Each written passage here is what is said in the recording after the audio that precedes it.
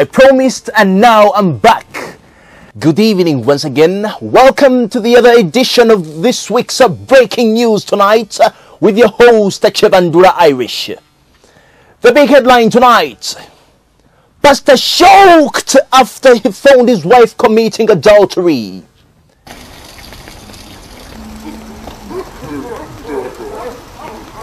The news in detail. This morning, the chairman of the pastors in Kampala district, uh, Pastor David Chigondo, who heads the Christianity Focus Center located in Chisenyi, was shocked after he found his wife in the arms of a chapati investor. The wife by the names of Hajati is married to the pastor with the five children. It is alleged that the chapati investor is by the names of Isabiye Joseph. You need to have a look at the drama yourself. Ninguém apanhava, o.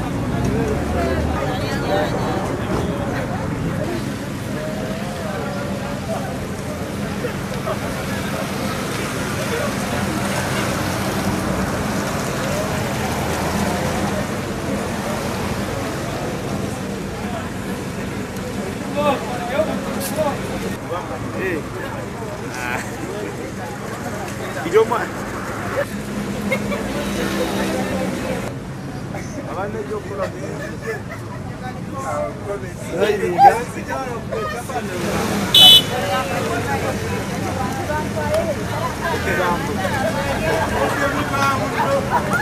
Thank you.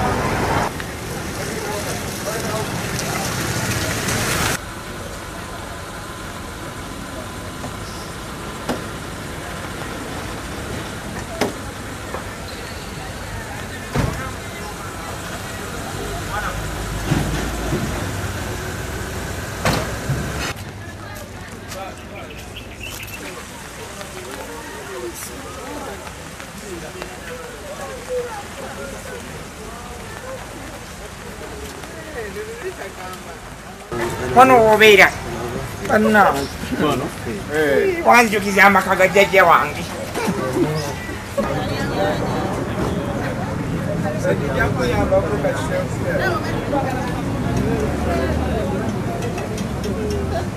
Yeah.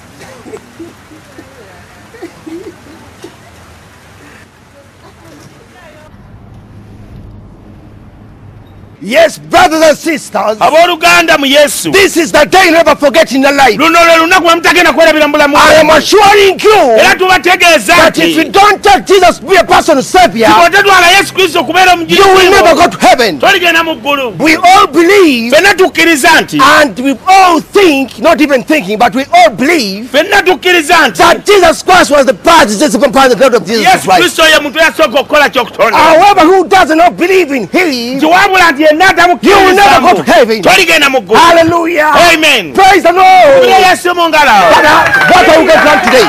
tugenda kuyiga ku kigulu Good. Samaritans. okubeera abantu abalungi Be good Samaritans muyige okuba abantu abalungi because even Jesus Christ, ne yesu kristo He was a good Samaritan. yali muntu Hallelujah. amen He met a young lady. yasanga omukyalo omu She was at the well. yali ku lusi This well, oluzzi luno hallelujah. amen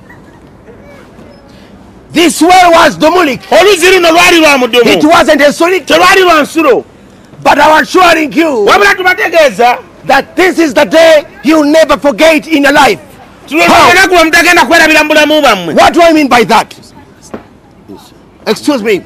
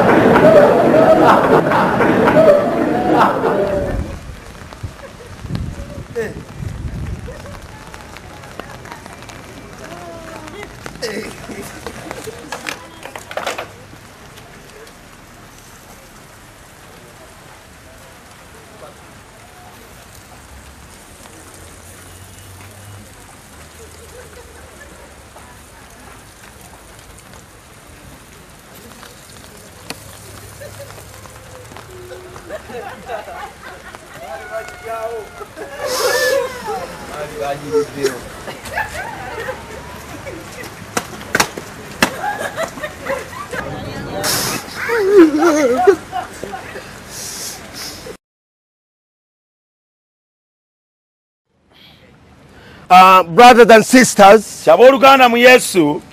today I'm not going to say much. Olunaku lwaleero sigenda kwogera bingi. But I would like to inform you wabula njagala okubategeeza nti that I myself nti nze kennyini. am so mindful ndi mwennyamivu of what has happened to me.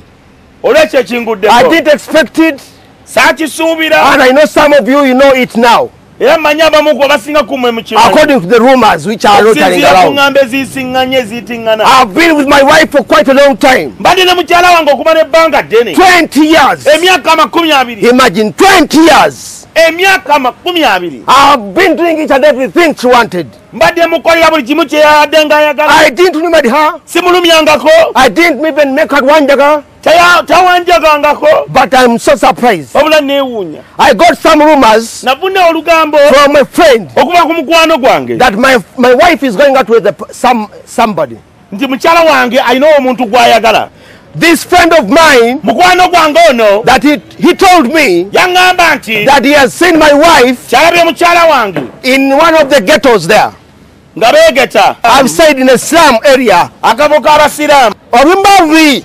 In- mu- buyumba obubiibibi I took my time. natwala obudde bwange I didn't kugumuka. saagugumuka I didn't take any action. saatwala kya- kikolwa kyonna I cooled down nakakana and think and I thought, ndowooza what should I do? ki kyemba nkola Should I her? mutemule tokaaba kiganda guma kiganda guma bituuka ku buli omu I took my time. Natwala obudde bwange tokaaba guma ekyo kituuka ku buli muntu yenna kiganda guma mukama ajja kukuyamba kiganda And I tried to lumika her. Oh my God. guma What have I done that for her? kiki simukoledde While crying. kukaabirako mukama ajja kukuyamba kuwa omukazi omulala I'm assuring you, brothers and sisters, this is the day I got my wife wange lubona The second time they told me, I went straight where the lodge is. I reached there. I conquered. n'enkonkona They couldn't answer. tebanzirangamu Then a friend of mine wabula mukwano gwange who took me there, eyantwalayo he showed me an akatuli. nandaga akatuli I to links up small time nalina okuyingiza katonotono and see what's going to happen inside. nendaba kyekigenda mu maaso munda And I saw my wife. nendaba mukyala wange I didn't believe in the rumors sakkiririza mu ŋŋambo because I very much want kubanga njagala nnyo to get that person red-handed. njagala omufuna red handed In, in the court, kuba namanya nti bwe tutangera mu kooti they will tell me to identify that man. bajja kuŋŋamba And I saw the man properly. oba omusajja namulaba ye I go mad naguma because I wanted to prove kuba nayagala okukakasa if they really made that a chikora. oba ddala baakola ekikolwa ekyo My wife removed the blouse, mukakyala wange yajjamu blouse her kalega, n'akaleega and the petty. ne peti And the man removed his shirt. omusajja najjamu He removed his shirt. He removed his shirt yajjamu esaati ye and his vest. n'ajjamu vesti He had an nowhere. yalina obwoya And this, they call it an akatukasha. bakiyita akato k'abakyala He started yonkering. yatandika okuyonga mukyala wange And instead of my wife reacting, mu kiba kya mukazi wange okuwoggana making an alarm, oba okkuba enduulu she failed. She just Syrian. Syrian. yasiiza busiiya I just imagine. Nendowoozaamu a chapatsika omusisi wa capati and my wife. ayagale mukazi wange. What have I done, for her? si kye kimukoledde omukazi oyo. Tokaaba mama